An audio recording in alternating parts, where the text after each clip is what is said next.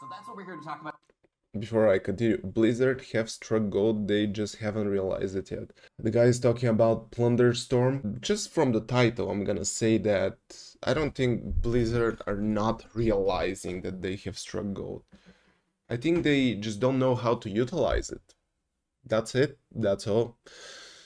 But let's see what this guy have to say. About today, it's a brand new event, It's finally happened, everybody. It's Blizzard's take on a battle royale. and we're calling it I don't know if anybody expected this. It is wild. Plunderstorm. Remember WoW's golden era? It's crazy to imagine that an MMO was once the world's most popular game. But as the players mature and new generations enter the fold, it's only inevitable for new genres to take the crown. Before MMOs, we had FPS. After MMOs, we had MOBAs. But it wasn't until 2017 that a new genre would enter the mainstream, changing the gaming climate forever. Games like PUBG, Fortnite, and Warzone exploded onto the scene, amassing tens of millions of downloads and dominating Twitch viewership. Uh, I didn't start playing until Drake started playing, so you can. I didn't start playing until Drake started playing. Named after the popular Japanese action film released in 2000, the Battle Royale genre would only increase in popularity over time and eventually make its way into video And are you games. trying to kill me right now? Now it's 2024 and the hype around BRs I mean, let's be real here. It was really cringe when they were playing on live TV, on TV in general. It was has more or less settled. The game mode is, is still massive, but seems to be sharing the crown with MOBAs and FPS. So Blizzard are at least a few years late to the party when it comes to BRs. few years, man. Battle Royales got popular in 2018. Blizzard released Plunderstorm six years later. But that might not be a bad thing. Might not be a bad thing. Wow. Really curious what this guy has to say The now. last few years have been transformative for Blizzard. Freed from their former leadership, Blizzard seems to be re-establishing their goals as a developer and entering 2024 with a new outlook at their place in gaming. For the longest time, WoW's absolute domination Also, I want to say that this guy's microphone is a little bit low. Am I the only one? gave them an arrogance that caused them to ignore their own player base. But that seems to have changed. Here's a slide from Blizzard's presentation at the GDC in which they're outlining their past failures, learning from them, and adapting. It really is letting go of old stubbornness. Your job as game director, Ian, is to safeguard this tradition, do it well, taking a step back and being like, well, no, what if the tradition's wrong now? What if the tradition was right 20 years ago but needs to change today? This is the Blizzard we've wanted to see for a really, really long time. A Blizzard that understands that they can't do everything on their own. And that's where Proletariat comes in. Proletaria? Pro Proletariat is an indie game developer known for their popular BR Spellbreak. As you may have guessed, Spellbreak was a battle royale with a fantasy setting.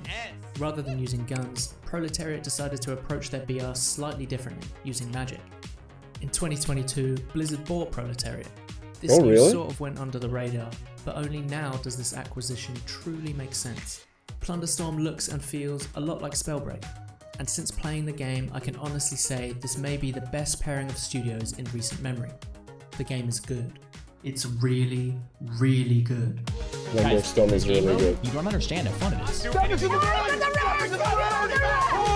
This is peak maximum fun ever, period, ever, ever, period, ever, period.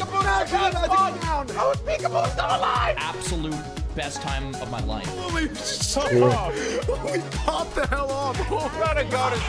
Like Plunderstorm was hella fun. To play it, it was hella fun. It, it was just the fact that it, it's really hard to make Battle Royale interesting as a streamer, you know? You know, Plunderstorm was fun to play it, but not very interesting to watch. And uh, streamers didn't have the experience of playing the game in a way that it's interesting to watch. I love it, and I'm not going to be shy about that. Plunderstorm has the opportunity to change everything. Oh, Streamed 15 hours yesterday, bro. and then I kept playing for another three hours, dude. It's, it's hard to stop, man. By the way, whenever Plunderstorm was out, everyone was streaming a lot. A lot, a lot, a lot, a lot, a lot. It's hard to hard to not press Q. So, what is Plunderstorm? Plunderstorm is a limited time event a classless third person battle royale housed on the retail client. Benefiting from 20 years of WoW's engine optimization, the game feels smooth as butter. It works very similarly to other BRs, yet once you drop in, you're not looking for guns, armor sets, grenades. You're looking for spells and abilities, and grinding levels. Remind you of anything? That's because this isn't a typical BR. It's a BR with MOBA elements. MOBAs condense the RPG progression and empowerment experience into a much smaller package that would play out over and over again in different matches. Plunderstorm seems to be doing the same thing, but within a BR. And it works. Both of these genres capitalize on that moreish quality, and Plunderstorm is certainly no different. In a way, this game hits on so many points that WoW PvP is lacking. WoW suffers from intense playability problems. Yeah, and Riot did Plunderstorm before they even did Plunderstorm.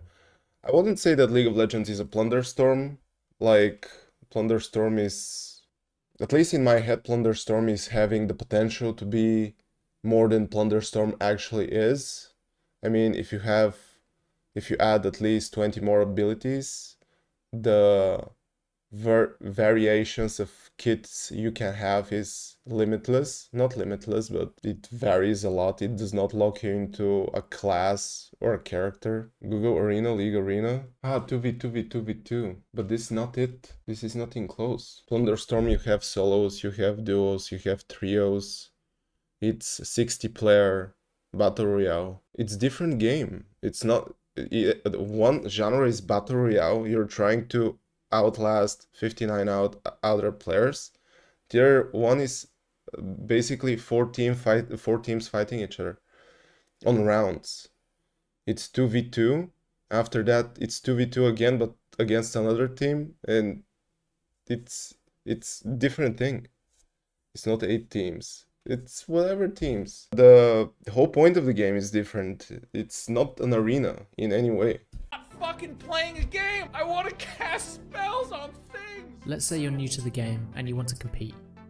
You either have to roll the dice, spending hours looking for partners, or spend hours in solo queue instead. You play classic? Queues are an issue here too and have fun waiting for 10 minutes for cooldowns between every duel. hey, when you see the reset, man, fuck you know. And then when you do finally get to play, both games are incredibly imbalanced anyway. What? Dude, Zeus True. just one shots. It's so refreshing to play a game that you can just hop on, press Q, and be in and a game play. within a minute. And then when you are playing, the game is actually really balanced. And it's easy to balance because it's not tied to the main game, which means there's no pushing and pulling between PvE and PvP. There are some strong abilities for sure, but everything is counterable. And even though the game is a lot simpler than PvP and WoW, there's complexity and nuance within that simplicity. And it's not just me losing their minds over this game mode. It seems like everyone absolutely loves Plunderstorm. Everyone that should be playing it anyway. I wouldn't say that everyone loves Plunderstorm.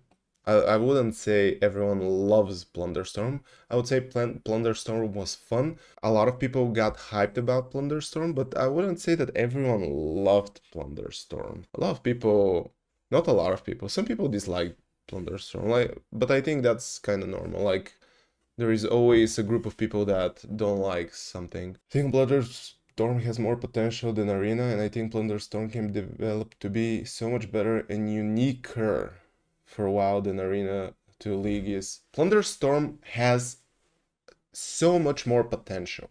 Just remove the pirate team, make a couple of maps, put uh, like another 30 abilities out there, and for each map, uh, the abilities to be unique, and you know, uh, a couple more things, and it's, I mean, it's good enough. And also, also, uh, make it free to play make it free to play. This is a must. Like, I want to play Plunderstorm with friends. My friends are not willing to pay $13 just to try a game. Amazing.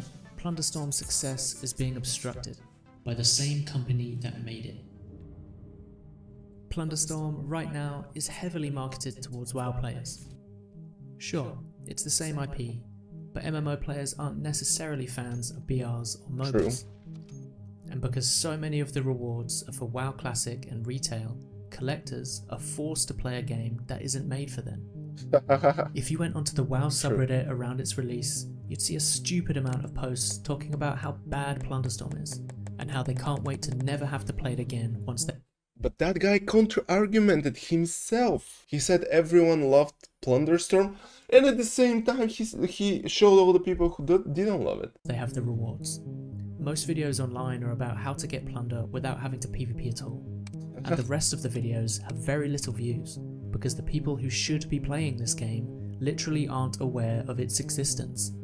That's because Blizzard have made the mistake of primarily marketing this game to an audience that it isn't made for.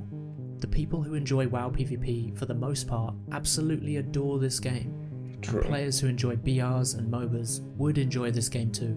But right now, it's not being marketed to them. So how does Blizzard reach them?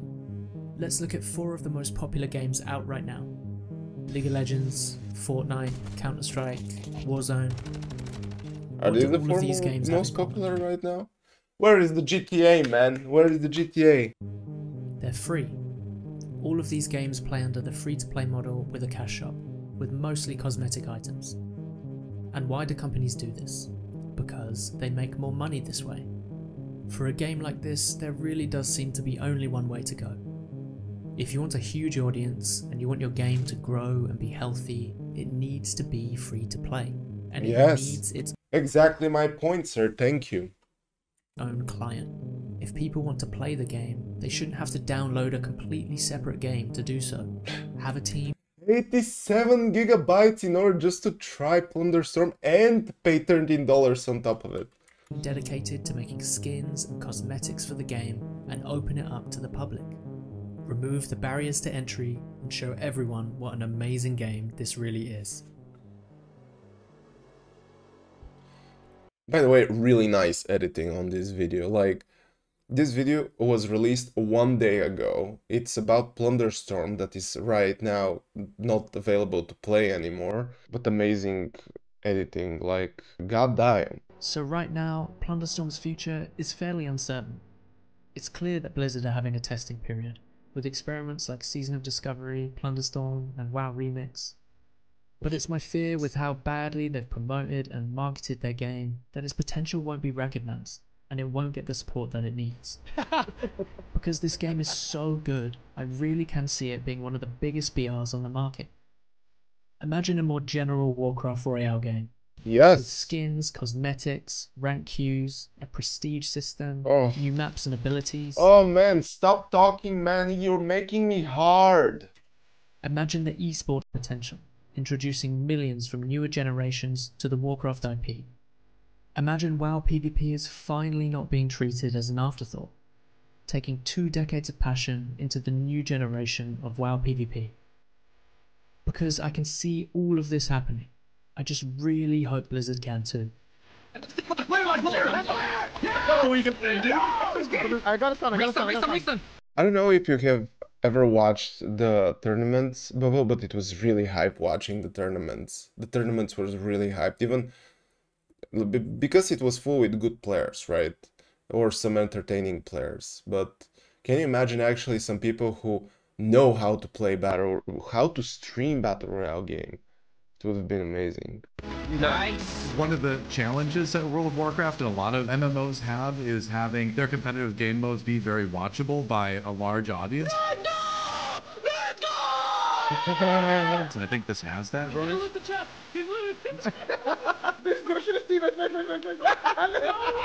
For something like Plunderstorm, we're like, okay, this is a bit crazy. From an esports perspective, I think it's fantastic. And it outperformed our expectations. I'm gonna be honest, guys, I think it's good.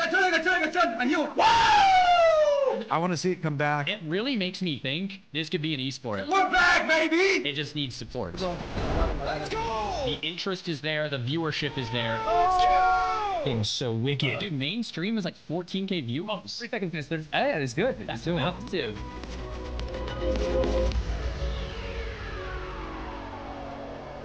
What this guy is gonna say for an outro?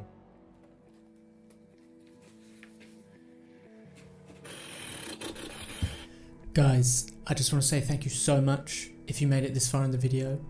No it worries, takes me a horrendous amount of time to make these videos, so I really, really Good. appreciate it. It's no coincidence that this video comes out after Plunderstorm is over, because I have been living in Plunderstorm. I have a problem. It's it's bad. I mostly just made this video because I don't really want to see Plunderstorm's potential go to waste. I think the game is fucking amazing, and I just think it would be the biggest shame ever if it didn't turn into something bigger than it is right now. And I think the way to do that, the way to make that happen, is to just talk about it a lot.